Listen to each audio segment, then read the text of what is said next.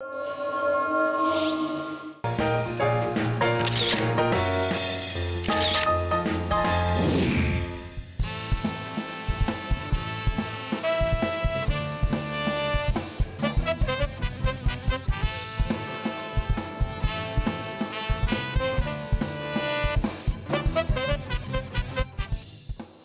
¿Qué tal amigos? ¿Cómo están? Gracias por acompañarnos esta noche a Ritmo de Jazz.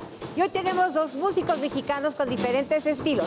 La música folclórica de Rafa Valderrama y el bolero romántico de Rodrigo de la Cadena. Uno de los comediantes más finos de México nos hablará sobre su trayectoria. Mauricio Herrera está con nosotros. También nos visita una de las villanas más populares de la televisión. Ella es Laura Zapata. Vamos a hablar con un actor de doblaje que ha interpretado a Danny Trejo, a Morgan Freeman y Mel Gibson. Esto con su voz, Miguel Ángel Gigliasa. Directo desde La Habana tenemos a uno de los mejores actores cubanos, Pedro Sicar.